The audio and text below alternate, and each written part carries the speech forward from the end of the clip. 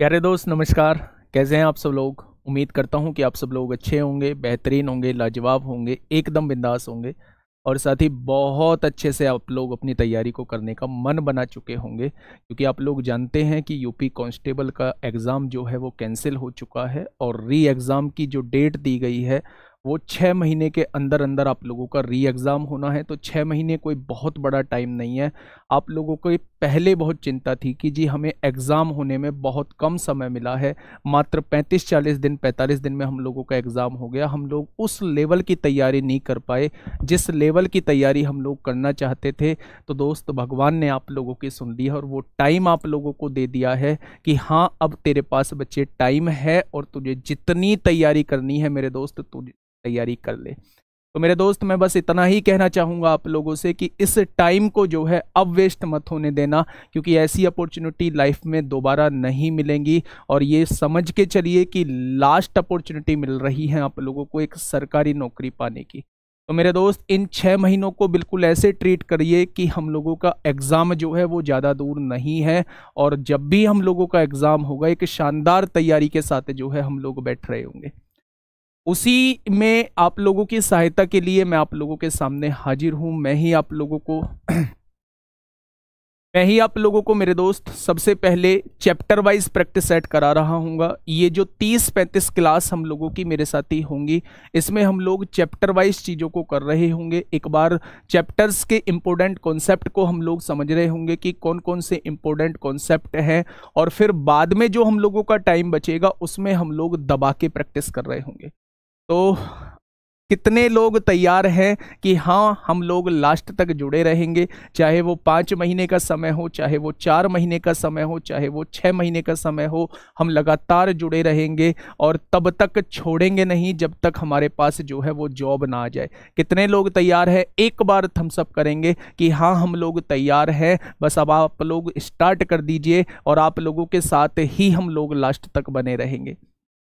सभी दोस्त एक बार थम्सअप करेंगे।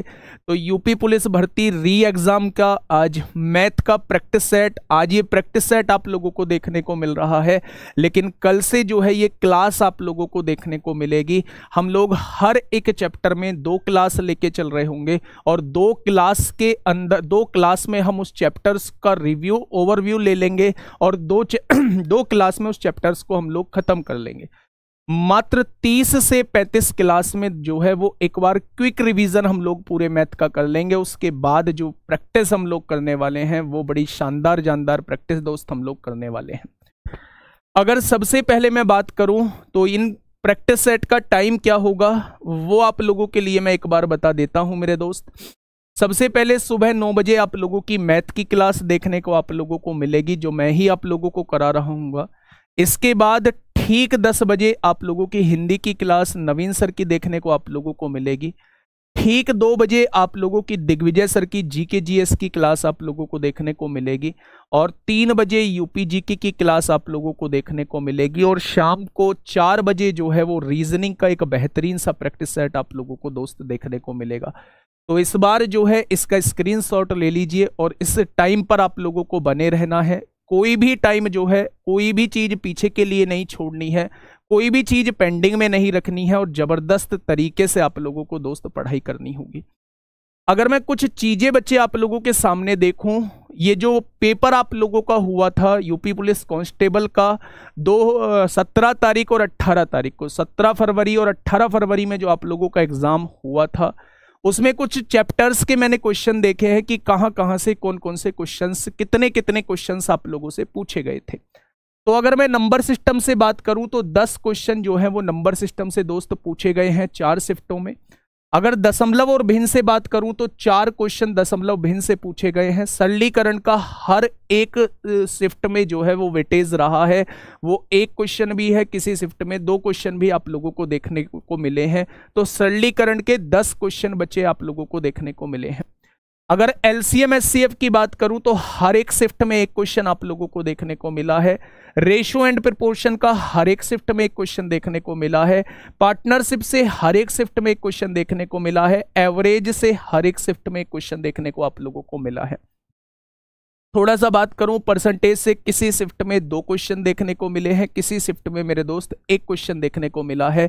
प्रॉफिट लॉस से एक क्वेश्चन हर एक शिफ्ट में देखने को मिला है। वहीं एस आई सी हर एक क्वेश्चन हर एक शिफ्ट में क्वेश्चन आप लोगों को देखने को मिला है।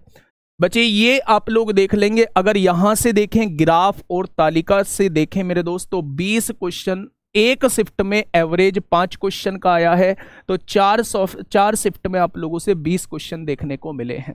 ठीक है भाई? बहुत बढ़िया, बहुत शानदार। तो आज हम लोग जो स्टार्ट करने जा रहे हैं, सबसे पहले मैं आप लोगों को बता दूँ कि मेरे दोस्त, हम लोग चैप्टर वाइज चीज़ों को पढ़ेंगे। क्या पढ़ेंगे? कुछ चीज़ें आप लोगों को बता देता हूँ। अगले 30-35 दिन हम लोगों का क्या टारगेट रहने वाला है कि हम लोग चैप्टर वाइज चीज़ें पढ़ेंगे। और हर एक चैप्टर को हम लोग दो दिन का समय दे रहे होंगे, दो दिन में हम लोग पूरी चीज़ों को निपटा देंगे। और ये सारी चीज़ जो है वो हमारी 35 क्लास में बच्चे ख़त्म हो रही होंगी। यानी मैं कह सकता हूँ कि 35 क्लास में क्विक रिवीजन आप लोगों का हो जाएगा और क्विक रिवीजन एक तरीके से समझाने का काम भी मैं आप लोगों को कर रहा हूँ और इसके बाद जो है वो डेली का डेली आप लोगों की 30-35 क्वेश्चन की प्रैक्टिस कराऊँगा तो मुझे नहीं लगता कि मैथ में आप लोगों को कोई दिक्कत आने वाली है। और 17-18 तारीख के पेपर की बात करूँ तो ईजी पेपर आया था, आसान पेपर आया था, और आसान पेपर आसान ही चीज़ें हम लोग कर रहे होंगे, कोई पेपर में आप लोगों को ज़्यादा बड़ा चेंज देखने को नहीं मिलेगा। दूसरी बात बचे अब एक बात की गांठ बाँध लेना कि पेपर छः महीने के अंदर ही होगा और बिल्कुल सही तरीके से आप लोगों का पेपर होगा अब, है ना?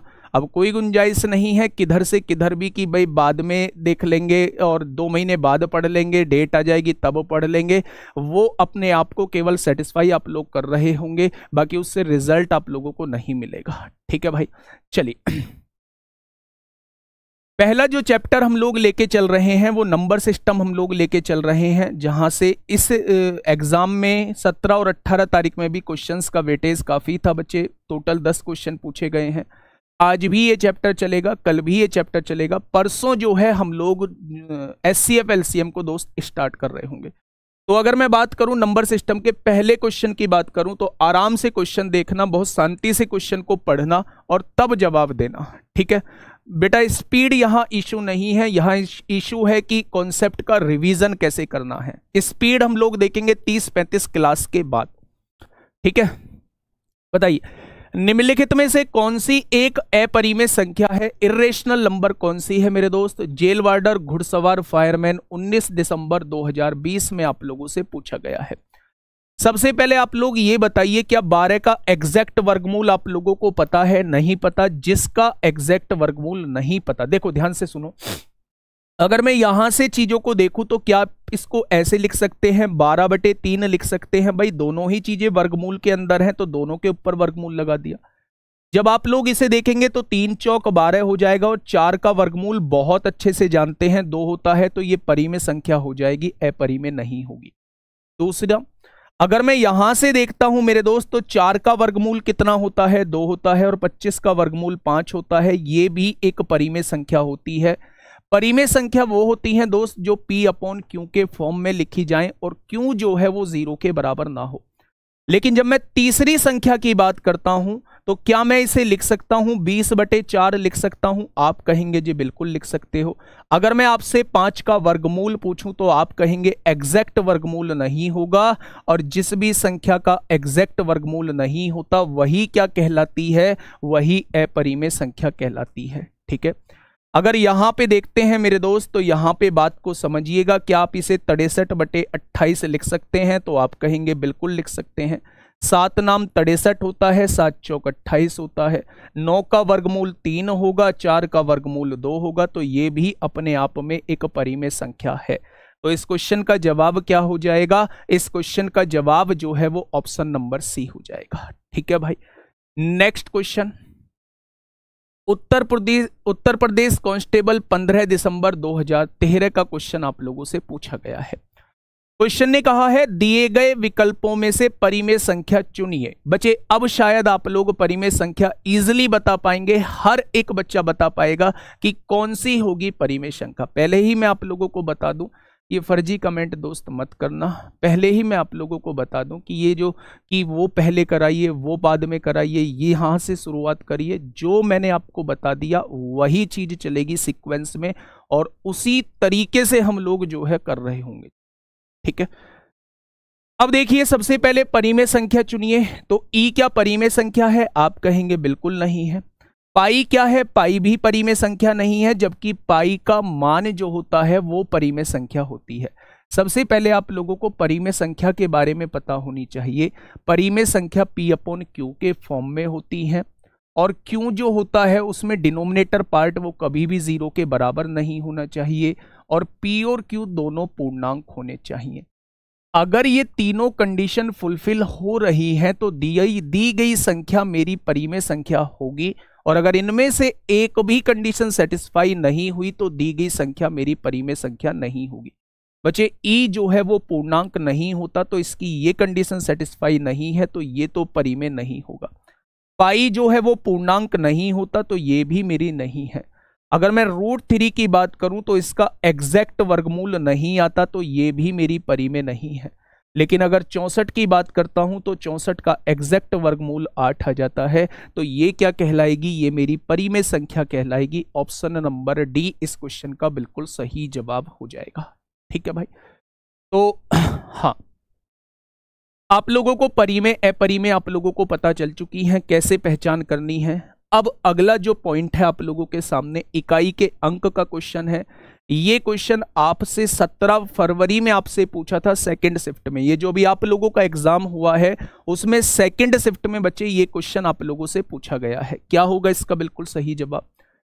आप लोगों को बताया गया होगा कि अगर आप लोगों को चार या नौ इकाई के अंक पे देखने को मिलता है तो आपको सम या विषम देखना है। देखो ध्यान से अगर मेरे मेरे दोस्त नौ की पावर आप लोगों को सम दी हुई है तो आप लोग जानते हैं इसमें यूनिट डिजिट वन आता है। और नौ की पावर अगर आप लोगों को विषम दी हुई है तो आप लोग जानते हैं इसमें यूनिट डिजिट जो है वो नौ आता है। क्या ये बात क्लियर है? अगर यहाँ पे देखूँ तो मेरे दोस्त, यहाँ पे इकाई का अंक नौ है। नौ की पावर क्या दी हुई है? विषम दी हुई है, और विषम के केस में आंसर कितना आएगा? नौ आ जाएगा। ठीक है? अगर मैं दूसरी तरफ़ आपसे पूछूँ कि भैया चार की पावर सम होगी तो यूनिट डिजिट क्या आएगा? और चार की पावर विषम होगी तो यूनिट डिजिट क्या आएगा?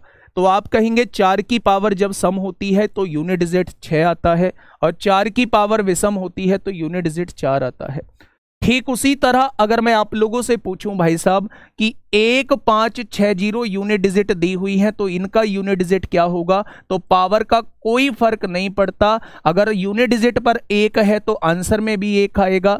यूनिट डिजिट पर पाँच है तो आंसर में भी पाँच आएगा। यूनिट डिजिट पर छह है तो आंसर में भी छह आएगा। और यूनिट डिजिट पर ज़ीरो है तो आंसर में भी ज़ीरो आएगा।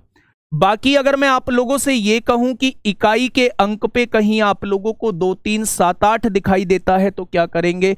आप कहेंगे, जी पावर को चार से डिवाइड करेंगे। और पावर को चार से डिवाइड करने के बाद जो शेषफल बचेगा, उसे इकाई के अंक पे लगा देंगे, वही हम लोगों का जवाब हो जाएगा। ठीक है भाई? तो ये पूरा का पूरा यूनिट डिजिट मैं आप लोगों को रिकॉल करा चुका हूँ। मुझे नहीं लगता कि अब आप लोगों को हाँ मुझे नहीं लगता कि अब आप लोगों को मेरे दोस्त कोई दिक्कत आने वाली है। ठीक है भाई? आगे बढ़े। चलिए। अगला क्वेश्चन यूनिट डिजिट का समझूं तो मेरे दोस्त, इसका मुझे जवाब बताइए, क्या होगा इस क्वेश्चन का बिल्कुल सही जवाब? क्या हो जाएगा मेरे साथी इस क्वेश्चन का बिल्कुल सही जवाब? आप कहेंगे, जब भी चीज़ें गुणा में लिखी हो तो इकाई के अंक की गुणा इकाई के अंक में कर लो। आठ दूनी सोलह को छह हो जाएगा। फिर छह की गुणा नौ में करेंगे, नौ छिक्का चौवन को चार हो जाएगा। फिर चार की गुणा चार में करेंगे, चार चौक सोलह को छह हो जाएगा। तो इकाई का अंक क्या आ जाएगा? तो आप कहेंगे, इकाई का अंक मेरे दोस्त छह आ जाएगा। ठीक है? आसान सा क्वेश्चन था। क्वेश्चन नंबर पाँच आप लोगों के सामने है। क्वेश्चन नंबर पाँच आप लोगों के सामने है। फटाफट मुझे बताइए, क्या होगा इस क्वेश्चन का बिल्कुल सही जवाब? आरपीएफ के लिए ये प्रैक्टिस सेट ले सकते हैं। भाई साहब मैथ आरपीएफ में भी यूनिट डिजिट आता है। अपरिमेय संख्या वहाँ भी आती है, यहाँ भी आती हैं। आप ऐसे फर्जी सवाल प्लीज़ मत पूछिएगा, है ना? देखिए, आप लोग ये जानते हैं, यहाँ सारी चीज़ें रिकॉल हो जाएँगी। अगर यूनिट डिजिट पर पाँच है तो उसकी पावर कुछ भी हो, फ़र्क नहीं पड़ता, पाँच ही आएगा। अगर इकाई के अंक पर छह मौजूद है तो पावर का कोई फ़र्क नहीं पड़ता। इकाई के अंक पर छह है तो आंसर में भी छह आएगा। और इकाई के अंक पर अगर एक मौजूद है तो आंसर में भी एक ही आएगा। ठीक है? अगर मैं यहाँ से देखूँ तो मेरे दोस्त, इकाई का अंक कितना आ जाएगा? छह पंजे तीस, पीछे ज़ीरो आ चुका है। ऑप्शन नंबर ए इस क्वेश्चन का बिल्कुल सही जवाब हो जाएगा। ठीक है? अब आप ये मत सोचना जी, इतने आसान आसान क्वेश्चन आते हैं। बिल्कुल आते हैं भाई साहब, इतने आसान आसान क्वेश्चन 2017 2023 में 17 फरवरी और 18 फरवरी को हुए एग्ज़ाम का एनालिसिस करोगे तो बहुत आसान आप लोगों को मैथ दिखाई पड़ेगा। ऐसा नहीं है हम अच्छे क्वेश्चन नहीं करेंगे, हम अच्छे भी क्वेश्चन करेंगे, लेकिन हम जो चीज़ें पढ़ेंगे उस हिसाब से पढ़ेंगे, जिस हिसाब से पेपर सत्रह अट्ठारह में बना था मेरे दोस्त। थोड़ा सा लेवल हम लोग बढ़ा रहे होंगे बस। फटाफट बताइए भाई, क्या होगा इस क्वेश्चन का बिल्कुल सही जवाब? देखिए, उसने कहा है, कौन सी अभाज्य संख्या नहीं है? सबसे पहले आप लोगों को पता होनी चाहिए मेरे साथी कि अभाज्य संख्या या प्राइम नंबर होते क्या है। अभाज्य संख्या वो संख्या होती है जो किसी से कट नहीं होती। या तो वो एक से डिवाइड होती है या केवल अपने आप से डिवाइड होती है। अन्य कोई संख्या उन संख्या को नहीं काट सकती, उन सभी संख्याओं को अभाज्य संख्या कहा जाता है। यानी हम दूसरी अगर डेफिनेशन की बात करें तो डेफिनेशन ये कहती है कि अभाज्य संख्या मेरी वो संख्या है जिसके केवल और केवल दो फैक्टर या केवल और केवल दो गुणनखंड होते हैं। यानी या तो वो एक से कटेगी या अपने आप से कटेगी, अन्य किसी संख्या से वो नहीं कटेगी, उसे हम लोग अभाज्य संख्या कहते हैं। अगर मेरे दोस्त, मैं इसमें बात करूँ तो एक हज़ार एक को काटने वाली दुनिया भर की संख्याएँ हैं। सात से भी एक हज़ार एक कट जाएगा, ग्यारह से भी एक हज़ार एक कट जाएगा, तेरह से भी एक हज़ार एक कट जाएगा और सैंतीस से भी एक हज़ार एक कट जाएगा।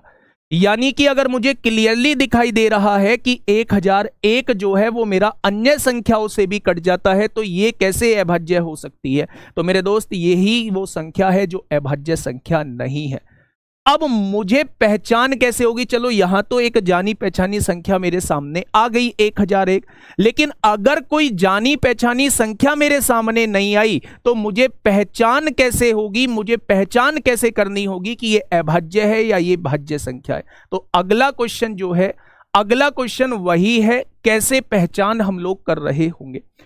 बच्चा, इस क्वेश्चन को थोड़ा सा देखिएगा। पहचान करने के लिए डिविजिबिलिटी रूल आप लोगों को अच्छे से पता होना चाहिए, विभाजिता का नियम आप लोगों को अच्छे से पता होना चाहिए। अब ध्यान से सुनिएगा। क्वेश्चन ने कहा है, निम्नलिखित में से कौन सा विकल्प जो है वो भाज्य संख्या नहीं है? यानी अभाज्य के बारे में पूछ रहा है। भाई, भाज्य संख्या नहीं है, इसका मतलब क्या है? इसका मतलब है, अगर भाज्य नहीं है तो वो अभाज्य होगी। यानी मुझे पहचान करनी है कि कौन सी संख्या अभाज्य है। अब अच्छे ध्यान से सुनना। 133 से जस्ट अगला वर्गमूल मुझे बताइए कितना होता है तो आप कहेंगे 144 होता है। 144 का वर्गमूल मुझे बताइए कितना होगा, आप कहेंगे 12 होगा। आगे बढ़िए। 433 से अगला वर्गमूल कितना होता है तो आप कहेंगे 441 होता है, और 441 का वर्गमूल 21 होता है। कोई दिक्कत नहीं है। 533 से अगला वर्गमूल 576 होता है। 576 बच्चे किसका वर्गमूल होता है? तो आप कहेंगे 24 का होता है। और 833 से अगला वर्गमूल 841 होता है और 841 से 841 का वर्गमूल 29 होता है। क्या ये बात आपके समझ में आ गई? जिस भी संख्या का आपसे कहा जाए कि पहचान करिए, ये भाज्य संख्या है या अभाज्य संख्या है, जस्ट उससे अगला वर्गमूल आप लोग निकाल दीजिए कि उससे अगला वर्गमूल किसका होगा। अब ये आपने 12 लिख दी 12 से छोटी सारी अभाज्य संख्याएँ लिख दीजिए। आप ये कहेंगे, जी, मेथड बड़ा है बेटा, इसका मेथड बड़ा ही होता है। जब आपने हाँ आप ध्यान से सुनिए, जब आप दो से इसको डिवाइड करेंगे तो दो से डिवाइड नहीं होगा मेरे साथी। तीन से डिवाइड करेंगे तो तीन और तीन, छह और एक सात, तीन से डिवाइड नहीं होगा। पाँच से डिवाइड करेंगे तो पाँच से भी डिवाइड नहीं होगा, क्योंकि ज़ीरो और पाँच नहीं है। सात से डिवाइड करेंगे तो सात एक कम सात, छह बचेगा। सात नाम तड़ेसठ, सात से तो डिवाइड हो जाएगा। ये मेरा अभाज्य संख्या नहीं है, ठीक है? ठीक 21 से छोटी अभाज्य संख्या लिखिए बेटा 11 हो गई 13 हो गई 17 हो गई 19 हो गई, ये सारी 21 से छोटी अभाज्य संख्या है। दो से काटेंगे, नहीं कटेगा। तीन से काटेंगे, चार तीन, सात तीन, दस, नहीं कटेगा। पाँच से नहीं कटेगा, क्योंकि ज़ीरो पाँच नहीं है। सात से काटिए, सात छिंग बयालीस, एक बचेगा, नहीं कटेगा। ग्यारह से काटिए, ग्यारह तिया तैतीस, दस बचेंगे, नहीं कटेगा। तेरह दूनी छब्बीस, तेरह तिया उनतालीस, चार बचेंगे, नहीं कटेगा। सत्रह दूनी चौंतीस होता है, नौ बचेगा, नहीं कटेगा। उन्नीस दूनी अड़तीस होता है, पाँच बचेगा, नहीं कटेगा। मतलब ये किसी से भी नहीं कट रहा है तो मेरे दोस्त, यही मेरी अभाज्य संख्या हो जाएगी।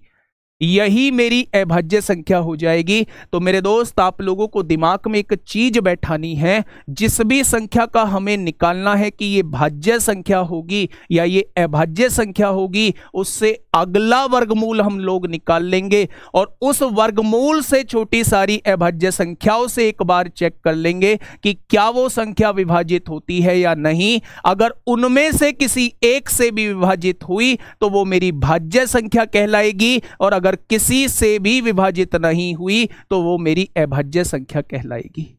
ठीक है? तो मेरे दोस्त, क्या हो जाएगा? इस क्वेश्चन का बिल्कुल सही जवाब ऑप्शन नंबर बी इस क्वेश्चन का साथी बिल्कुल सही जवाब हो जाएगा। ठीक है? बहुत सारे लोग आपके सामने आएँगे। बहुत सारे लोग आपको रास्ते में मिलेंगे। बहुत सारे लोग लाइब्रेरी में मिलेंगे। बहुत कुछ कहते हुए मिलेंगे। लेकिन आपको अपने दिमाग से काम लेना है। मेरे दोस्त, दिमाग से काम लेना है। 48 लाख बच्चों ने फॉर्म मतलब पेपर दिया था। 48 लाख में साठ हज़ार लोगों का सिलेक्शन होना है। कंपटीशन अच्छा खासा है मेरिट अच्छी खासी जाएगी, पढ़ाई अच्छी खासी करनी होगी और अब जो है वो असली कंपटीशन आपके सामने निकल के आएगा। जहाँ टाइम भी आपको मिला है, हर एक चीज़ आप लोगों को मिली है तो पेपर का लेवल भी अच्छा खासा होगा, पढ़ना भी अच्छे से होगा। नहीं भी आता है पेपर का लेवल तो भी अच्छे से पढ़ के चलना होगा। अगर बाई चांस लेवल आ गया तो मुझे क्या करूँगा फिर मैं? है ना? तो उस सोच के साथ बच्चे आप लोगों को पढ़ना होगा। बाकी आप लोगों की मर्ज़ी है, आप अपनी मर्ज़ी के स्वयं मालिक है है ना? आप लोगों पर कोई किसी का मतलब ये नहीं है कि हम लोग आप पर कुछ थोपेंगे, आपको खुद अपने एंड पे डिसाइड डिसीज़न लेना है। ठीक है भाई? चलिए। फटाफट मुझे इसका जवाब दीजिए। तीन अंकों की सबसे छोटी अभाज्य भाई साहब, देखना कहाँ पूछा है। कहाँ पूछा है? U P police assistant operator का एग्ज़ाम हुआ था अभी चार फरवरी 2024 में। मतलब मैं कह कह रहा हूँ कि एक महीने पहले एग्ज़ाम हुआ था, उसमें आप लोगों से पूछ लिया, तीन अंकों की सबसे छोटी अभाज्य संख्या कौन सी है? तो पहले इसके बारे में सारा कुछ बता दूँ कि सबसे छोटी अभाज्य संख्या दो है। दो अंकों की सबसे छोटी अभाज्य संख्या ग्यारह है। दो अंकों की सबसे बड़ी अभाज्य संख्या सत्तानवे है। तीन अंकों की सबसे छोटी अभाज्य संख्या 101 है। तीन अंकों की सबसे बड़ी अभाज्य संख्या नौ सौ है। तो ये पाँच चीज़ों को आप लोग याद रखेंगे। बेटा, सबसे छोटी अभाज्य संख्या दो दो अंकों की सबसे छोटी अभाज्य संख्या ग्यारह, दो अंकों की सबसे बड़ी अभाज्य संख्या सत्तानवे, तीन अंकों की सबसे छोटी अभाज्य संख्या 101 तीन अंकों की सबसे बड़ी अभाज्य संख्या एक और एक से लेके सौ तक की कितनी अभाज्य संख्याएँ होती हैं तो ये भी याद रखेंगे, वो पच्चीस होती हैं। ठीक है भाई? तो क्वेश्चन ने कहा है, सबसे छोटी अभाज्य संख्या तीन अंकों की कौन सी होगी? तो आपका जवाब होगा 101 हो जाएगी। है ना भाई? चलिए नेक्स्ट क्वेश्चन की तरफ़ हम लोग चलते हैं। बेटा नंबर ऑफ़ जीरोस बताइए मुझे कितनी होंगी। क्वेश्चन नंबर नाइन का जवाब दीजिए। नंबर ऑफ़ जीरोस कैसे निकालते हैं? शून्यों की संख्या कितनी होगी? क्या आप लोग जानते हैं कि दो और पाँच के मल्टीप्लीकेशन से हमेशा ज़ीरो बनती है? आप कहेंगे, जी, बिल्कुल जानते हैं। देखिए, मेरी बात को समझिएगा। हाँ। अगर मैं आप लोगों से ये कहूँ, अगर मैं आप लोगों से ये कहूँ कि जो संख्या में हम इनके पेयर देख लेंगे, हम इनके जोड़े देख लेंगे, जो भी संख्या में कम होगा अगर दो संख्या में कम है तो नंबर ऑफ़ जीरोस दो के बराबर होंगी। अगर पाँच संख्या में कम है तो नंबर ऑफ़ जीरोस पाँच के बराबर होगी। यानी हमें दिए गए एक्सप्रेशन के अंदर केवल दो और पाँच की संख्या को देखना होता है। जो संख्या में कम होगा नंबर ऑफ़ जीरोस भी मेरे दोस्त उतनी ही बन रही होंगी। जब भी आप लोगों को लगातार संख्याएँ देखने को मिले, आप देख रहे होंगे ये संख्या एक से लेके कहाँ तक लिखी हुई है? एक से लेके एक तक संख्याएँ लिखी हुई हैं। तो मेरे दोस्त, जब भी संख्याएँ एक से शुरू होकर लगातार संख्याएँ लिखी हो तो उसे हम लोग फैक्टोरियल कहते हैं, उसे हम लोग क्रम गुणित कहते हैं। यानी मैं कह सकता हूँ कि ये जो एक्सप्रेशन आप लोगों के सामने लिखा हुआ है, ये एक फैक्टोरियल आप लोगों के सामने लिखा हुआ है। और जब भी फैक्टोरियल के अंदर नंबर ऑफ़ जीरोज निकालनी हो तो दोस्त हम उसे पाँच से डिवाइड करते हैं। पाँच से डिवाइड करते हैं, पाँच की संख्या निकालने के लिए। पाँच या पंद्रह होगा, एक बचेगा, पाँच दूनी दस हो जाएगा। क्या ये बत्तीस बार कटेगा? अब ये जो डिवाइड होके आया है, फिर इसको पाँच से डिवाइड करेंगे तो आप कहेंगे पाँच छंग तीस हो जाएगा। अब ये जो डिवाइड होके आया है, फिर इसको पाँच से डिवाइड करेंगे, आप कहेंगे जी एक बार कटेगा। कुछ बच्चों के दिमाग में आएगा, कुछ बच्चों के दिमाग में आएगा, जी, इसमें रिमाइंडर कहाँ जाएगा? सेसफल कहाँ जाएगा? भाड़ में जाए सेसफल हमें मतलब नहीं है। हमें मतलब है कि कितना जो है वो पूरी पूरी बार कट रहा है। ठीक है भाई? अगर मैं इन सब की काउंटिंग कर देता हूँ, बत्तीस और छह, अड़तीस और एक कितना हो जाएगा? तो आप कहेंगे उनतालीस ज़ीरो इसके अंदर आ जाएँगे। मेरे दोस्त नंबर ऑफ़ जीरोज की संख्या क्या हो जाएगी? तो आप कहेंगे उनतालीस। आज के बाद एक क्वेश्चन दिमाग में सेट कर लेंगे। अगर लगातार संख्याएँ मेरे पास दी हुई हैं, या कोई फैक्टोरियल का क्वेश्चन मेरे पास दिया हुआ है तो जस्ट मैं उसे पाँच से डिवाइड करूँगा और तब तक डिवाइड करता रहूँगा, जब तक कि वो डिवाइड होना बंद ना हो जाए। ठीक है भाई? चलिए, बहुत शानदार। नेक्स्ट क्वेश्चन एक और क्वेश्चन है बेटा नंबर ऑफ़ जीरोस का। इसका आंसर मुझे बताइए फटाफट क्या होगा। फटाफट बताएँगे इसका आंसर क्या हो जाएगा। क्वेश्चन ने कहा है, पाँच गुणा दस गुणा पंद्रह गुणा बीस गुणा पच्चीस गुणा दो सौ पैंसठ तक आप लोगों को दिया हुआ है।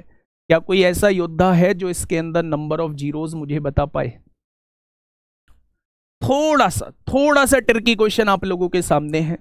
बच्चे, आप लोग देख रहे होंगे कि हर पद के अंदर आप लोगों को पाँच कॉमन नज़र आएगा। हर पद के अंदर आप लोगों को पाँच कॉमन नज़र आएगा। तो अगर मैं हर पद के अंदर से पाँच कॉमन लेना चाहता हूँ तो मुझे पाँच कितनी बार कॉमन लेना होगा? ये पहला पद है। जब इसको डिवाइड करता हूँ, दो आता है, ये दूसरा पद है। जब इसको डिवाइड करूँगा, ये तीन आता है तो ये तीसरा पद है। जब इसको डिवाइड करूँगा पाँच से तो ये चार आता है, ये चौथा पद है। जब मैं इसको पाँच से डिवाइड करूँगा तो ये तड़ेपन बार डिवाइड होगा, यानी ये तड़ेपनवा पद है। इसका मतलब मुझे हर पद के अंदर से पाँच कॉमन लेना है तो क्या मैं पाँच तड़ेपन बार कॉमन ले रहा हूँगा? अगर पाँच को तड़ेपन बार कॉमन ले दूँगा तो यहाँ पाँच कॉमन आया तो एक बचा, यहाँ से पाँच कॉमन आया तो दो बचा यहाँ से पाँच कॉमन आया तो तीन बचा, और यहाँ से पाँच कॉमन आया तो चार बचा, और यहाँ से पाँच कॉमन आएगा तो यहाँ तड़ेपन बचेगा। क्या कोई दिक्कत है? अब मेरे दोस्त, इसे साइड में छोड़ दीजिए, इस पर थोड़ी देर अपनी निगाहों को मत टेकिए। आप लोग इस पर अपनी निगाहें जमाइए। क्या ये आपके सामने लगातार संख्याएँ लिखी हुई हैं? क्या मैं इन वाली संख्याओं को तड़िप्पन का फैक्टोरियल लिख सकता हूँ? आप कहेंगे, बिल्कुल लिख सकते हैं। क्या नंबर ऑफ़ जीरोज जो बनती हैं, वो दो और पाँच की काउंटिंग से बनती हैं? आप कहोगे, जी, पाँच की काउंटिंग कर लो। पाँच की काउंटिंग कितनी आएगी? तो आपने काटा, पाँच से काटा, दस बार हो गया। फिर दस को पाँच से काटा मेरे दोस्त तो आपने कहा, दो बार यहाँ कट गया। तो क्या टोटल बारह बार पाँच आएगा? आएगा या नहीं? तड़ेपन बार पाँच यहाँ है, बारह बार पाँच यहाँ है, क्या टोटल पैंसठ बार पाँच आ रहा है? पाँच जो आ रहा है वो पैंसठ बार आ रहा है। भाई तड़ेपन बार तो यहाँ है और बारह बार यहाँ है, टोटल तड़ेपन और बारह क्या पैंसठ बार पाँच आ रहा है? आपके दिमाग में एक कीड़े ने जन्म लिया, आपके दिमाग ने एक चीज़ सोची कि अगर तड़ेपन बार अगर पैंसठ बार जो है वो पाँच आ रहा है तो एक बार दो की संख्या और देख लो, क्या वो कम बार तो नहीं आ रहा? आप क्या करिए आप क्या करिए? तड़ेपन को दो से डिवाइड करिए। जब दो की संख्या निकालनी हो तो दो से डिवाइड करिए। जब पाँच की संख्या निकालनी हो तो पाँच से डिवाइड करिए। आपने इसे काटा, दो दुनी चार, दो छिक्का बारह। फिर आपने छब्बीस को दो से काटा तो आपने कहा जी तेरह बार कटेगा। फिर आपने तेरह को दो से काटा तो आपने कहा जी छह बार कटेगा। फिर आपने छह को दो से काटा तो आपने कहा जी तीन बार कटेगा। फिर आपने तीन को दो से काटा तो आपने कहा एक बार कटेगा। कटेगा या नहीं? यानी कि 26 और तेरह, उनतालीस और छह, पैंतालीस और तीन, अड़तालीस और एक क्या हो जाएगा? उनचास हो जाएगा। भाई साहब, खेला हो गया, खेला। खेला हो गया, मामला ही पलट गया मेरे दोस्त। अगर मैं पाँच की संख्या देखूँ तो पैंसठ बार पाँच है, लेकिन दो जो है वो केवल और केवल उनचास बार मौजूद है। दो जो है वो केवल और केवल उनचास बार मौजूद है। और मैं बता के आप लोगों को आया हूँ, जो संख्या में कम होगा नंबर ऑफ़ जीरोज भी उतनी ही होंगी। तो गलती से भी इसका आंसर पैंसठ मत दे देना। इसका जो सही जवाब हो जाएगा, वो उनचास हो जाएगा। बताइए भाई, क्या होगा इसका? आया सबके समझ में? आया क्या सबके समझ में? बेटा, इसको पाँच से डिवाइड नहीं करेंगे, क्योंकि ये लगातार संख्याएँ नहीं है आपके पास। इसे फैक्टोरियल में नहीं लिखेंगे। पहले थोड़ा सा हमें लगाना होगा हिसाब किताब। हाँ। अब आप लोग थोड़ा सा ध्यान से समझ लीजिए। पहला क्वेश्चन ऐसा आया है, जो आपको जो आपको बच्चा सोचने पर मजबूर कर सकता है। पहला क्वेश्चन ऐसा आया है। ध्यान से सुनिए। आपके सामने एक एक्सप्रेशन दिया हुआ था। आपसे कहा है, आपसे कहा है नंबर ऑफ़ जीरोज निकालनी है। आप लोगों के दिमाग में एक चीज़ आती है नंबर ऑफ़ जीरोज हमेशा दो और पाँच के मल्टीप्लीकेशन से बनती हैं। दूसरी चीज़ आप लोग एक और जानते हैं, जो संख्या में कम होगा, चाहे वो दो कम हो, चाहे वो पाँच कम हो, जो संख्या में कम होगा नंबर ऑफ़ जीरोज उतनी ही बनेंगी। अब ध्यान से सुनिए। आपने देखा कि हर संख्या में पाँच आ रहा है। पाँच से सारी संख्या डिवाइड हो रही है। तो आप पहले सबसे पहले सोचिए कि मुझे पाँच कॉमन लेना है। जब पाँच कॉमन लेने की बात आती है तो अब आपको यह पता होनी चाहिए कि ये टोटल कितनी टर्म लिखी हुई है। तो आपने देखा, पाँच से डिवाइड करता हूँ, ये पहला पद है। पाँच से डिवाइड करता हूँ, ये दूसरा पद है। पाँच से डिवाइड करता हूँ, ये तीसरा पद है। पाँच से डिवाइड करता हूँ, ये चौथा पद है, और पाँच से इसे डिवाइड करूँगा तो ये तड़िप्पनवा पद आएगा। क्या इसके अंदर टोटल तड़िप्पन पद दिए हुए हैं? हर पद के अंदर से पाँच कॉमन होगा तो पाँच तड़िप्पन बार कॉमन लेना होगा। जब आप हर पद के अंदर से पाँच कॉमन ले चुके हो तो यहाँ एक बचेगा। जब पाँच कॉमन ले चुके हो तो यहाँ दो बचेगा। जब पाँच कॉमन ले चुके हो तो यहाँ तीन बचेगा, और जब पाँच कॉमन ले चुके हो तो तड़िप्पन बचेगा। अब जब आपने इसको देखा तो ये लगातार संख्याएँ हैं, क्या मैं इसको तड़िप्पन फैक्टोरियल लिख सकता हूँ? आपने क्या कहा? आपने पाँच से डिवाइड करा तो दस आ गया। दस को पाँच से डिवाइड करा तो दो आ गया, यानी पाँच की संख्या बारह आ गई। यहाँ पाँच की संख्या बारह है, यहाँ तड़िप्पन है, दोनों जगह पाँच की संख्या जोड़ोगे तो पाँच की संख्या पैंसठ आ जाएँगी। लेकिन आपके अंदर एक छोटे दिमाग ने काम किया, जो छोटा दिमाग आपके अंदर होता है, उसने सोचा कि एक बार दो की संख्या और काउंट करके देख लो। आपने इस तड़प्पन को दो से डिवाइड करने का सोचा। जब दो की संख्या निकालनी हो तो दो से डिवाइड करना है, जब पाँच की संख्या निकालनी हो तो पाँच से डिवाइड करना है। आपने दो से डिवाइड किया और तब तक डिवाइड किया, जब तक डिवाइड होता है तो टोटल उनचास बार दो निकल के आया। भाई साहब, गजब का केस हो गया। पाँच जो है वो पैंसठ बार आ रहा है और दो जो है वो उनचास बार आ रहा है। तो मेरे साथी, उनचास ही ज़ीरो हो जाएँगे। स्क्रीन ले लो। फटाफट बहुत बढ़िया क्वेश्चन है। एक फोल्डर आज ही बना लो। एक फोल्डर आज ही बना लो इंपोर्टेंट क्वेश्चंस के नाम से उसमें ये मौजूद होना चाहिए आपकी। उसमें ये क्वेश्चन मेरे दोस्त मौजूद होना चाहिए, ठीक है? चलिए। नेक्स्ट क्वेश्चन क्वेश्चन नंबर ग्यारह। इसमें तो आप लोग बता देंगे। भाई साहब, जब भी फैक्टोरियल का क्वेश्चन दिखाई दे तो आप लोग पाँच से डिवाइड करेंगे और आंसर फटाफट निकालेंगे। आपने कहा जी, चार को पाँच से डिवाइड कर दो। चार को पाँच से डिवाइड कर दो पाँच नाम पैतालीस होता है, दो बचेगा, पाँच पंजे पच्चीस। पिचानवे को पाँच से डिवाइड कर दो, उन्नीस बार कटेगा। उन्नीस को पाँच से डिवाइड कर दो, पाँच तिया पंद्रह बार कटेगा। भाई साहब, अब नहीं कटेगा। तो यही तो नंबर ऑफ़ जीरोज होंगी। तो आप ध्यान से समझिए, नौ और पाँच चौदह, तीन सत्रह को सात हासिल एक, नौ और एक दस और एक ग्यारह। तो एक सौ सत्रह नंबर ऑफ़ जीरोज हो जाएँगी। बेटा, जब कॉमन लेने की बात आती है, गुणा में है, इसलिए पाँच को तड़प्पन बार कॉमन ले रहे हैं। अगर प्लस में होता तो एक ही पाँच कॉमन लेने से हर जगह से कॉमन आ जाता। ठीक है? प्लस और गुणा में यही फ़र्क है। गुणा में हर एक पद से कॉमन लेना होता है, जबकि प्लस में एक ही पद से कॉमन ले लो, हर जगह से कॉमन आ जाएगा। ठीक है? चलिए भाई, ये क्वेश्चन आप लोगों को 17 18 फरवरी के शिफ्ट वन में क्वेश्चन देखने को मिला है। फैक्टर क्वेश्चन आपके सामने है। फैक्टर पे एक बार हम लोग बात कर लेते हैं कि फैक्टर का क्या लेना देना है बेटा, है ना? जल्दी से बताइए क्या होगा इस क्वेश्चन का बिल्कुल सही जवाब। क्वेश्चन ने कहा है, संख्या 323 में है। वो अभाज्य गुणनखंड की संख्या आपसे पूछ रहा है। तो सबसे पहले ये देखिए कि 323 कटता किससे है? तो आपने कहा तीन से तो नहीं कटेगा, तीन दो पाँच तीन आठ। सात से कटेगा क्या? सात चौक अट्ठाईस। कितना बचेगा? चार बचेगा, नहीं कटेगा। ग्यारह से कटेगा, नहीं कटेगा। तेरह से कट रहा है, तेरह दूनी छब्बीस, छह बचेगा, नहीं कटेगा। सत्रह से, सत्रह एकम सत्रह होता है, पंद्रह सत्रह से कट रहा है। यानी जब आपने इसे सत्रह से काटा, जब आपने इसे सत्रह से काटा तो सत्रह एकम सत्रह सत्रह निम्मा एक सौ तिरपन हो गया। दूसरा फिर आपने इस 19 से काटा तो 19 से कम 19 हो गया।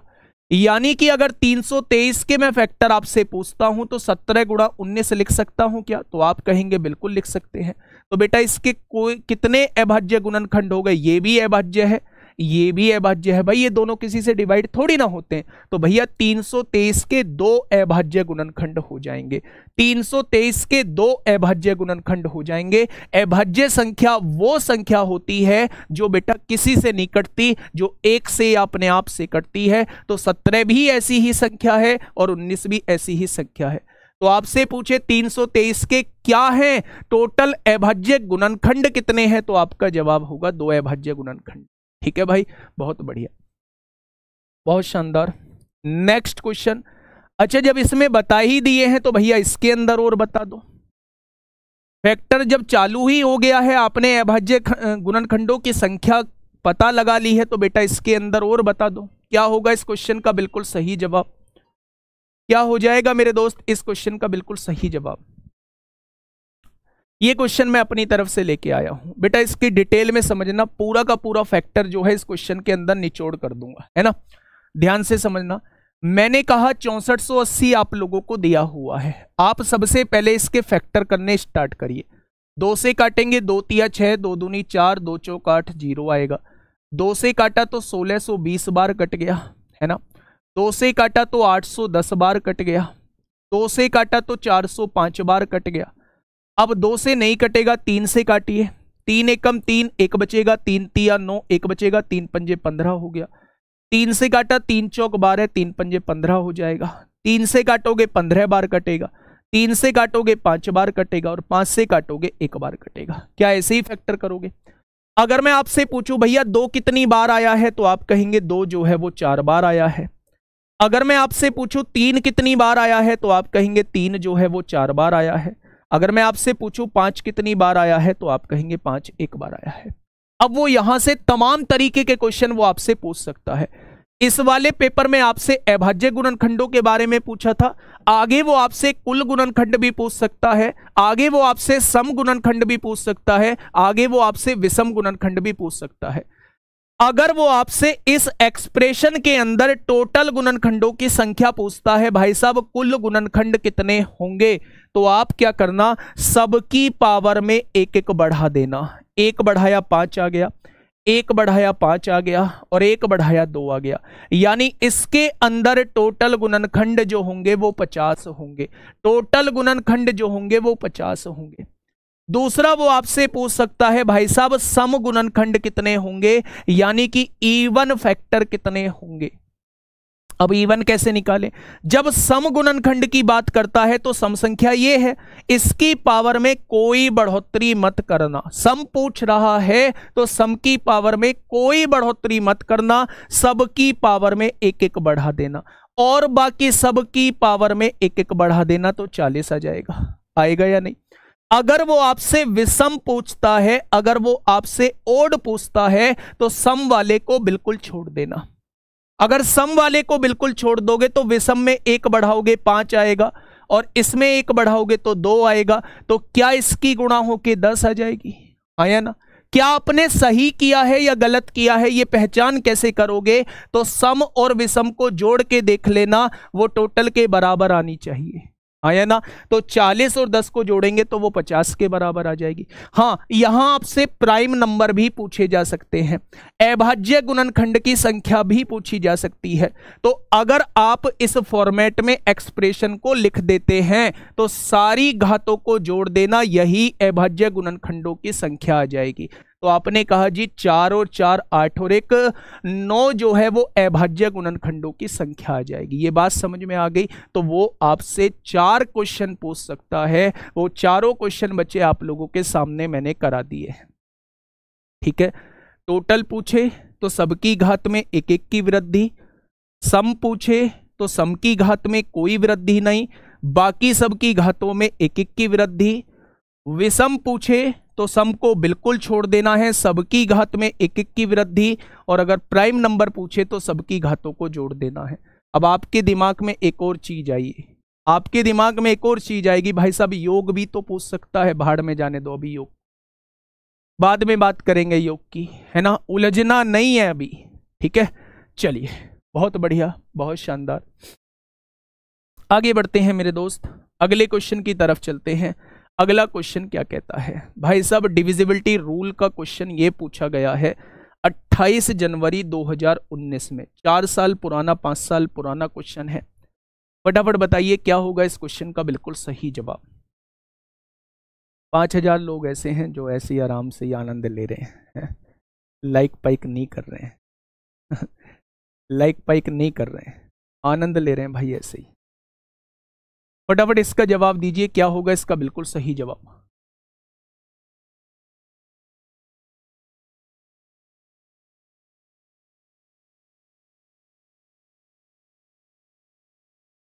देखिए, एक पाँच अंकों की संख्या दी हुई है।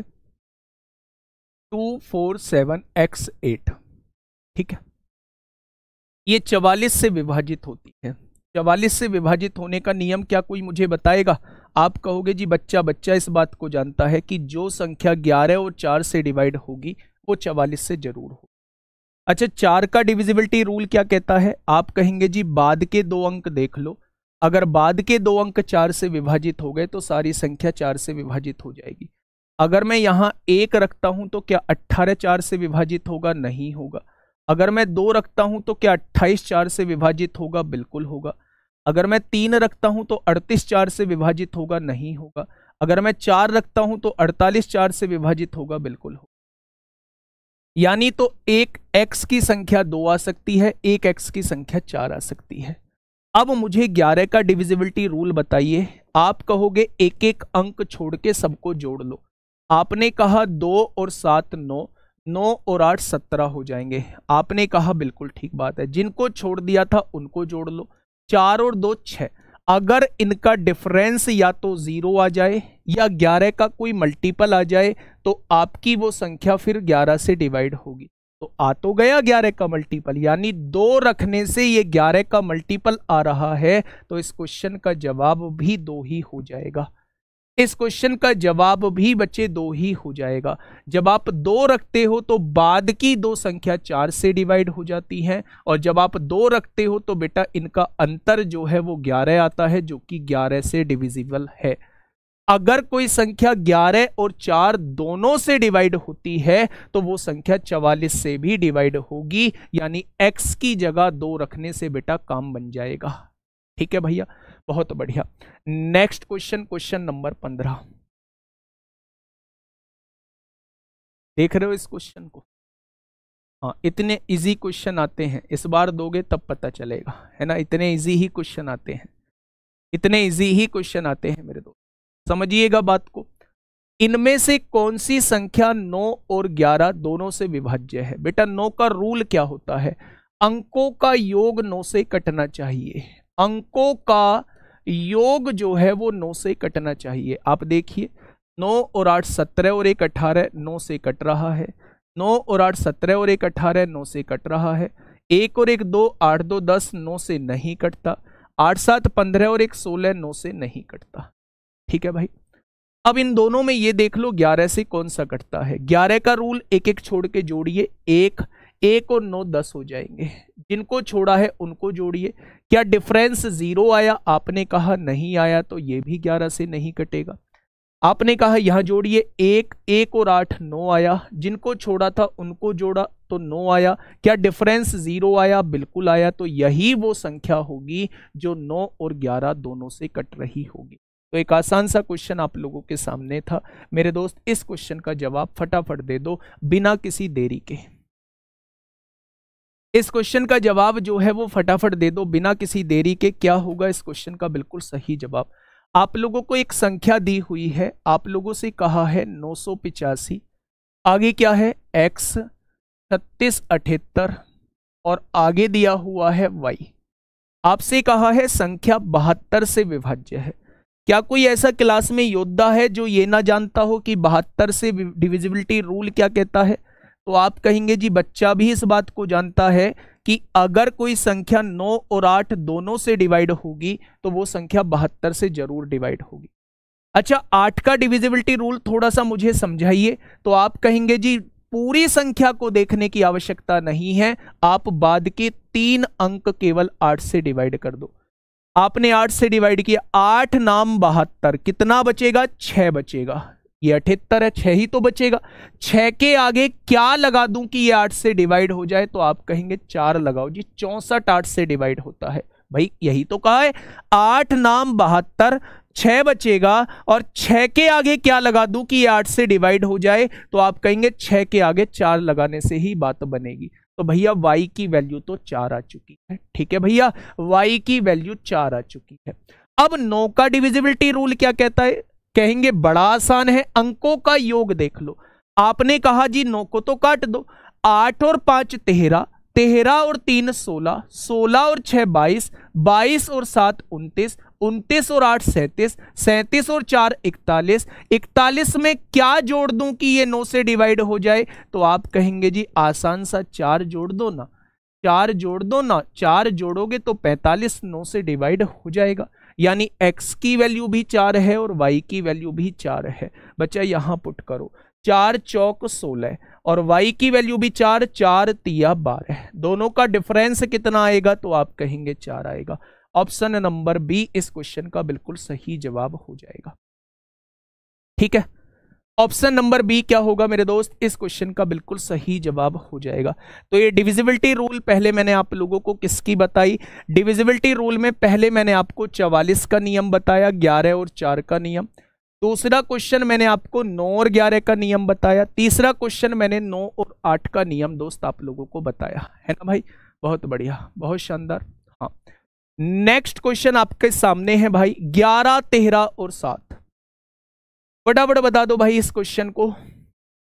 ग्यारह का नियम बताओ, बहुत तेज़ी से मुझे ग्यारह का नियम बताओ, ग्यारह का नियम क्या होता है? ग्यारह का नियम। एक बार ग्यारह का नियम बताएँगे, क्या होगा इसका? तो आप कहेंगे, जी, जोड़ो ना एक एक छोड़ के। छह और चार, दस दस और एक, ग्यारह। छह दो, आठ आठ और तीन, ग्यारह। ग्यारह और ग्यारह का डिफरेंस ज़ीरो आएगा, ग्यारह से डिवाइड होगा। छह और चार, दस दस और दो, बारह। छह दो, आठ, चार, बारह, ग्यारह से डिवाइड होगा। छः और चार दस दस और तीन, तेरह छः और दो, आठ, पाँच, तेरह, ग्यारह से डिवाइड होगा। छः और चार दस दस और चार, चौदह छः और छः बारह, दो, चौदह, ग्यारह से डिवाइड होगा। भाई साहब, सारे ही ग्यारह से डिवाइड हो रहे हैं। अच्छा एक बात और बता दो? एक बात बहुत छोटी सी बता दूँ, अगर कभी भी सात ग्यारह तेरह का डिविजिबिलिटी रूल आप लोगों से पूछा जाए तो आप कहना, अगर कोई संख्या एबीसी एबीसी के फॉर्मेट में लिखी है तो वो संख्या हमेशा सात ग्यारह तेरह से डिवाइड होगी। अब ये एबीसी एबीसी क्या आ गया? भाई साहब, अगर कहीं 243 243 लिखा हुआ है तो ये तीनों से डिवाइड होगा। अगर कहीं 113 113 लिखा हुआ है तो ये तीनों से डिवाइड होगा। अगर 520 520 लिखा हुआ है तो ये तीनों से डिवाइड होगा। अगर चार सौ नवासी, चार सौ नवासी लिखा हुआ है तो ये तीनों से डिवाइड होगा। यानी शुरू के तीन अंक जो हैं, अगले तीन अंक को जैसे हैं तो वो हमेशा इन तीनों से डिवाइड होता है। सात ग्यारह तेरह से डिवाइड होता है। तो देखो ना 624 613 नहीं डिवाइड होगा। 624 624 तीनों से डिवाइड होगा। ऑप्शन नंबर बी इस क्वेश्चन का बिल्कुल सही जवाब हो जाएगा। ठीक है? नेक्स्ट क्वेश्चन आप लोगों के सामने है। ये क्वेश्चन आप लोगों से असिस्टेंट रेडियो ऑपरेटर में पूछा था। फरवरी 2024 में शिफ्ट वन में ही क्वेश्चन पूछा गया है। बढ़िया सा क्वेश्चन है, थोड़ा सा देख लो। क्या कहना चाह रहा है भाई क्वेश्चन हाँ थोड़े हाई लेवल के क्वेश्चन कराऊँगा तो पहला दिन है यार। आज से ही हाई लेवल मांगने लगे तुम, हैं? फटाफट बताइए क्या होगा इस क्वेश्चन का बिल्कुल सही जवाब। देखिए, एक से इकसठ तक की तीन से विभाज्य संख्याओं को घटते हुए क्रम में व्यवस्थित किया जाए तो ऊपर से कौन सी संख्या सातवें नंबर पर और सत्रहवें स्थान पर आएगी? सातवें नंबर पे कौन सी आएगी? सातवें नंबर पे कौन सी आएगी और सत्रहवें नंबर पे कौन सी आएगी, ये पूछना चाह रहा है। पहले संख्याओं को बनाओ तो बेटा, अगर मैं बात करूँ तो सत्रह और अट्ठारह को हुए एग्ज़ाम में, दो हर शिफ्ट में एक क्वेश्चन एपी का पूछा गया है। एपी मतलब अर्थमेटिक प्रोग्रेशन अर्थमेटिक प्रोग्रेशन मतलब समांतर श्रेणी का एक क्वेश्चन आपसे पूछा गया है। तो समांतर श्रेणी को भी हम इसमें ही पढ़ रहे होंगे। ध्यान से सुनिए। एक से इकसठ तक लेनी है, तीन से विभाज्य संख्याओं को घटते हुए क्रम में। क्या पहली संख्या साठ होगी, दूसरी संख्या सत्तावन होगी, तीसरी संख्या चौवन होगी, चौथी संख्या इक्यावन होगी और ऐसे ही होते होते पहली संख्या इधर तीन हो जाएगी। भाई, एक से लेके लिखनी है, इकसठ तक की तीन से विभाज्य संख्याओं को घटते हुए क्रम में, यानी पहले सबसे बड़ी, फिर उससे छोटी, फिर उससे छोटी, फिर सबसे छोटी। अब आप मुझे ये बताइए ध्यान से उसने कौन कौन सी संख्या पूछी है? सातवीं और सत्रहवें नंबर की संख्या पूछी। बेटा, एक फॉर्मूला याद रखिए टीएन का। वैसे तो ये बहुत आसान क्वेश्चन है, लेकिन आप इस फॉर्मूले को हमेशा याद रखिए। ये होता है आखिरी पद। जौन सा पद आपसे पूछा जाता है टीएन वही कहलाता है। आखिरी पद। ए क्या होता है? ए होता है प्रथम पद। कभी भी गलत नहीं देगा ये, कभी भी कंफ्यूज नहीं होंगे। अगर ये फॉर्मूला आप लोगों को याद है तो।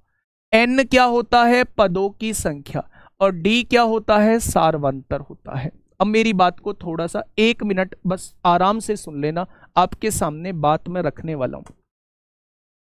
जब भी आपसे कोई श्रेणी ऐसी दी हुई हो जिनके बीच का अंतर समान हो जब भी कोई श्रेणी ऐसी दी गई हो, जिनके बीच का अंतर समान हो तो ऐसी श्रेणी को हम लोग जो है समांतर श्रेणी कहते हैं। समांतर श्रेणी में एक फॉर्मूला आता है T N is equal to A plus N minus one into D A क्या होता है? प्रथम पद होता है। एन जो होता है, वो पदों की संख्या होती है, ठीक है? डी क्या होता है? इनके बीच का अंतर होता है।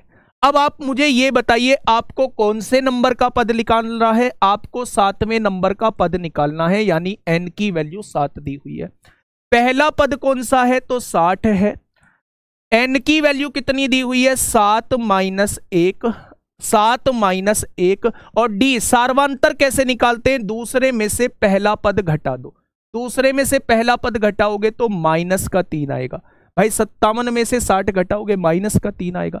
आपने कहा जी साठ, सात में से एक गया छह छह की गुणा तीन में करोगे तो माइनस अट्ठारह आएगा। और साठ में से अट्ठारह जाएँगे तो बच्चा आप लोग बता पाओगे, बयालीस आएगा। ऐसे ही आप लोगों को सत्रहवें नंबर का पद निकालना है तो यहाँ टी सत्रह लिख दीजिए। फॉर्मूला यही वाला। पहला पद कौन सा है? साठ है। सत्रहवें नंबर का निकालना है तो एन की वैल्यू सत्रह है। डी क्या है? सार्वंतर कितना है? दोनों का अंतर है। तो आप कहेंगे, सत्रह में से एक गया सोलह। सोलह की गुणा तीन में होगी तो अड़तालीस आएगा। और साठ में से अड़तालीस जाएगा तो बारह आएगा। तो आंसर क्या आ जाएगा? बयालीस और बारह आ जाएगा। ठीक है? जब भी दो पदों के बीच का अंतर समान है, ऐसी श्रेणी को समांतर श्रेणी कहा जाता है। सत्रह अट्ठारह दोनों तारीख में आप लोगों से, सत्रह अट्ठारह दोनों तारीख में आप लोगों से मेरे दोस्त एपी का एक क्वेश्चन पूछा गया था। ठीक है भाई? चलिए, बहुत शानदार। आगे बढ़ते हैं, अगले क्वेश्चन की तरफ़। अब इसे मुझे बताइए, शेषफल प्रमेय का भाई साहब, इसी 17 फरवरी को पूछा गया क्वेश्चन आप लोगों के सामने है। जल्दी से मुझे इसका आंसर दे दीजिए, क्या होगा इस क्वेश्चन का बिल्कुल सही जवाब। क्वेश्चन ने कहा है कि एक संख्या को 119 से विभाजित करने पर 19 शेष बचता है। भैया, किससे? 119 से विभाजित करने पर क्या शेष बचता है? तो आप कहेंगे 19 शेष बचता है। यदि इसे 17 से विभाजित किया जाए तो क्या शेष बचेगा? बच्चे, जो भी शेष फल बचता है, उसी को हम लोग संख्या मान लेते हैं। अगर मैं इस 19 को 17 से डिवाइड कर दूँ तो क्या शेष बचेगा? तो आप कहेंगे 17 एकम 17 दो शेष बचेगा। आसान और सुशील सा क्वेश्चन था। ऑप्शन नंबर डी इस क्वेश्चन का जवाब हो जाए ठीक है? हाँ। बहुत बढ़िया। पहले पद को ए क्यों लेते हैं? भाई मत ले पहले पद को ए पहले पद को टी ले ले, कोई दिक्कत नहीं है। शुरुआत में आता है ए इसलिए लेते हैं भाई। फटाफट इस क्वेश्चन का जवाब दे दो। क्या होगा इस क्वेश्चन का बिल्कुल सही जवाब? क्या हो जाएगा इस क्वेश्चन का बिल्कुल सही जवाब? क्वेश्चन ने क्या कहा है भाई साहब? जब एक पूर्णांक एन को आठ से विभाजित किया जाता है। एन को किससे विभाजित किया जाता है? आठ से। तो शेषफल तीन बचता है। तो बेटा शेषफल को ही संख्या ले लूँ, क्या एन की वैल्यू ही तीन हो जाएगी? तो आप कहेंगे जी बिल्कुल हो जाएगी। यदि six N minus one N की वैल्यू को क्या लिया है? थ्री लिया है। माइनस वन यानी वो सत्रह की बात कर रहा है। सत्रह को आठ से विभाजित किया जाए तो क्या शेष बचेगा? तो आप कहेंगे जी ऐसे सवाल भी आते हैं, भाई साहब पूछे गए हैं। आंसर क्या हो जाएगा? एक इस क्वेश्चन का साथी बिल्कुल सही जवाब हो जाएगा। नेक्स्ट ये असिस्टेंट ऑपरेटर में आप लोगों से पूछा था, सात फरवरी 2024 एक महीना मात्र इस क्वेश्चन को आए हुए हुआ है। कैसा है यूपी पुलिस का रुझान? कैसे है यूपी पुलिस एग्जामिनर का रुझान? एक बार देख लो भाई साहब। अभी फ़िलहाल में ये रुझान बना हुआ है, जब एक संख्या दी हुई है पंद्रह अड़तीस दस। पंद्रह अड़तीस दस दी हुई है। इसको एन से विभाजित किया जाता है। तो किस एन के लिए शेषफल सबसे बड़ा होता है? यानी कौन सी ऐसी एन की वैल्यू है जो सबसे बड़ा शेषफल देगी? तो जब पाँच से विभाजित करूँगा तो ज़ीरो शेषफल आएगा, क्योंकि पीछे ज़ीरो है, पूरा पूरा डिवाइड हो जाएगा। नौ से डिवाइड करता हूँ, पाँच और एक छह तीन, नौ और आठ, सत्रह और एक अट्ठारह, पूरा पूरा डिवाइड हो जाएगा, ये भी शेषफल नहीं देगा। छह से डिवाइड करता हूँ, भाई दो से तो डिवाइड हो जाएगा। अगर ये नौ से डिवाइड हो रहा है तो ये तीन से भी डिवाइड होगा तो ये छः से भी पूरा पूरा डिवाइड हो जाएगा। तो आठ ही इस क्वेश्चन का जवाब आ जाएगा। बच्चे, ये छः से भी पूरा पूरा डिवाइड होता है, शेषफल ज़ीरो आएगा। ये नौ से भी पूरा पूरा डिवाइड होता है, शेषफल ज़ीरो होगा। ये पाँच से भी पूरा पूरा डिवाइड होता है, शेषफल ज़ीरो होगा। आठ ही ऐसी संख्या होगी जो शेषफल अलग देगी। ठीक है भाई? तो ये क्वेश्चन बड़ा आसान सा क्वेश्चन था। आप लोग आसानी से इस क्वेश्चन को बना के ले जाएँगे। क्वेश्चन नंबर 22 आप लोगों के सामने है। फटाफट बता दीजिए भाई, केवल एक मिनट हम लोगों के पास है। इस क्वेश्चन को करने के बाद, इस क्वेश्चन का जवाब आप लोग होमवर्क में देंगे। आज की क्लास को यहीं विराम देते हैं आज की क्लास को यहीं ख़त्म करते हैं। अब अगली क्लास जो है आप लोगों का फेवरेट सब्जेक्ट फेवरेट टीचर के द्वारा होने वाली है। नवीन सर इस क्लास को लेने वाले हैं। तो अगली क्लास से ज़रूर जुड़िएगा। वैसे तो कहने की आवश्यकता नहीं है आप बढ़ चढ़ के जुड़ेंगे ही। लेकिन दोस्त मुझे बताना था कि हाँ अगली क्लास आप लोगों की आ, हिंदी की होने वाली है। ध्यान रखिए अपना इस क्वेश्चन का जवाब जो है वो कमेंट बॉक्स में ज़रूर दीजिए। हम डेली का डेली एक चैप्टर नहीं, दो दिन में एक चैप्टर खत्म कर रहे होंगे और शानदार तरीके से खत्म कर रहे होंगे। और यकीन मानिए, जब 30-35 क्लासेस के बाद आप क्विक रिवीजन कर चुके होंगे तो उसके बाद प्रैक्टिस सेट करने में अलग ही मज़ा आएगा। ठीक है? लगातार जुड़े रहिएगा, बस ये सोचिएगा पेशेंस आप लोगों को रखना है। आप लोगों पर हावी नहीं हो जाए कि भाई कब एग्ज़ाम होगा, कब ये होगा, अभी नहीं पढ़ते हैं, बाद में पढ़ते हैं, ऐसा कुछ हावी ना हो जाए आप लोगों को। ठीक है भाई? चलिए, ओके, टाटा बाय बाय मिलते हैं कल एक बेहतरीन क्लास के साथ। धन्यवाद।